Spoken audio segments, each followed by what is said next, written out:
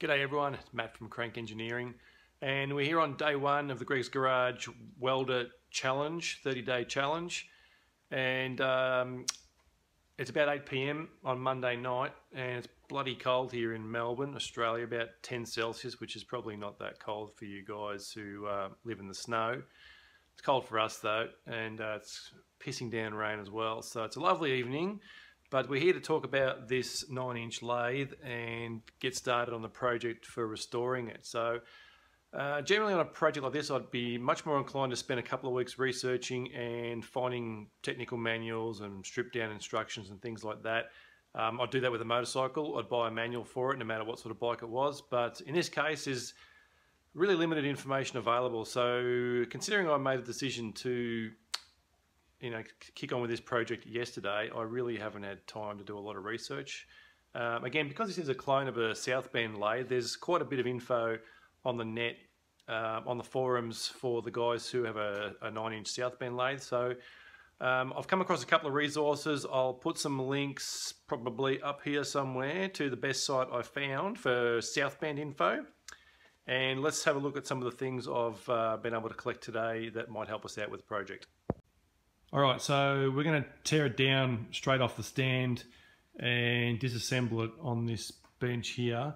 And what I've been able to find today um, on that link I just uh, showed you is this is a part of a US Army manual, parts manual for a bunch of different South Bend lathes, so 9, uh, 10K and the 10 inch.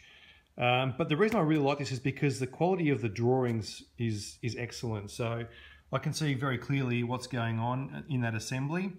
I do have an original Hercus spare parts manual. Well, it might be a, it might be a copy because the quality, 5th edition 71, the quality of the um, of the images is really not all that great. It doesn't tell you how things go together, it just tells you what all the parts are. So I'm going to have to use these two manuals or uh, this US Army manual and the original parts manual to help me understand how all this goes back together and how to ID the parts and make sure I put them all back in again. So that's the parts info. Um, I did come across one uh, site, if you ever haven't looked at it, uh, lathes.co.uk has got a plethora of information about machine tools and linked off their Hercus page is this quite extensive um, uh, write up about a rebuild of a, of a 9 inch Hercus, um, especially the apron itself. Um, so I'm going to use that because that's same as my model. Um, I've got a couple of other bits and pieces around. This is just basically a sales brochure, Hercus brochure. Sales brochure really doesn't tell me very much. And these three books, um, this is the probably the gold standard, the How to Run a Lathe by the South Bend Lathe Works. So I got this off eBay somewhere or Amazon or something, I don't know. It's um, the one that everyone refers to generally. Um, funnily enough, Hercus have got something very similar called the Textbook of Turning, which this is an original one as well. You can still get these on eBay. Um, just about word for word to the South Bend one. And here's another one, uh, the ME Lathe Manual, which is an English one. And what a coincidence, it's almost the same as well. So these have got some great info about running a lathe, but um, not very much on maintaining or restoring or rebuilding. So if I had more time, I'd probably do a lot more research, but we're going to have to wing it a little bit. Now, you know, this isn't the space shuttle. This is a, an old uh, manual lathe. So as long as I don't break anything or, you know, miss parts that, you know, like pins that I need to punch out before I pull things apart, we should be okay. So I'm going to be looking at the uh, South Bend info on the forums if I get stuck and I'll highlight that to you guys as we go across it. So we need a bit of a system if we're going to pull this thing apart. So I'm going to use the old punch the parts through the cardboard method.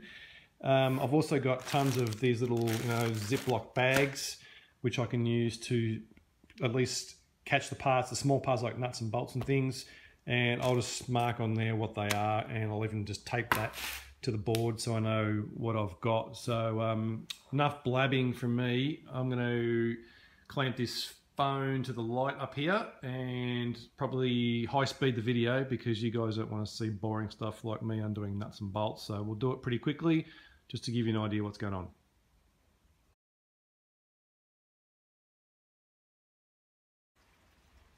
All right, we're making some progress.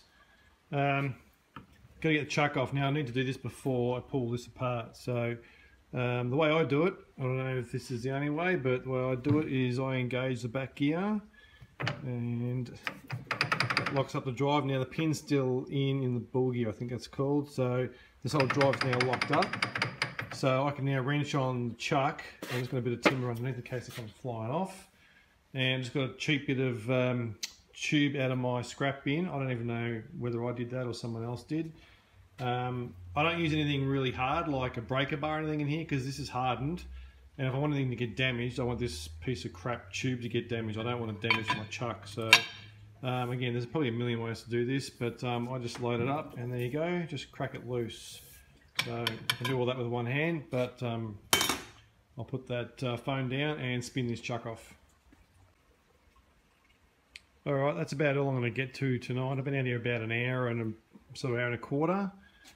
And taking off a lot of the easy stuff so nothing too difficult here. And I've just started laying out all the small parts here and all the larger parts on this bench. So I've been trying to keep you know these sub-assemblies together for now and I'll tear them down individually later on and um, give them a clean up um, as an assembly just to try and minimize losing parts or forgetting which bit goes with what.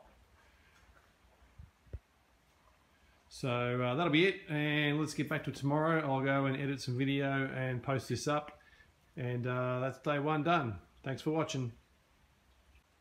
Uh, one postscript is um, don't buy a 16 gig iPhone if you're going to be shooting YouTube video because uh, they don't last very long. So I'm actually using my work phone to shoot this part of the video. I'm going to blend the videos later on. So I think I'm going to have to go back to my original cameras, um, my um, video cameras, because there's just not enough memory space on these stupid iPhones. So um, anyway, lesson for um, new players. Cheers.